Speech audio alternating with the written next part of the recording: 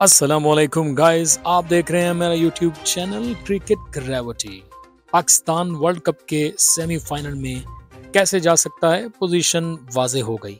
पाकिस्तान की न्यूजीलैंड के खिलाफ जीत के बाद भी सेमीफाइनल तक रसाई अगर मगर का शिकार।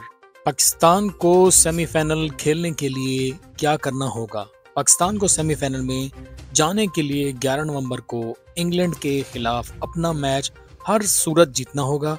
और उसके साथ पाकिस्तानियों को ये दुआ भी करना होगी कि श्रीलंका 9 नवंबर को बेंगलोर में न्यूजीलैंड को शिकस्त दे दे।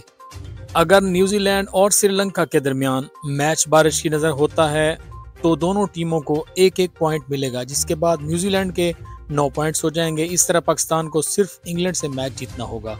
अगर न्यूजीलैंड 9 नवंबर को श्रीलंका को शिकस्त दे देता है तो इस सूरत में पाकिस्तान को सेमीफाइनल में जाने के लिए नेट रन रेट का सहारा लेना होगा।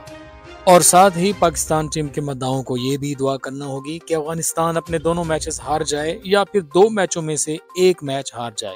और जो मैच जीते वो कम मार्जिन से जीते, क्योंकि पाकिस्तान का नेट रन रेट अफ़गानिस्तान से बेहतर है।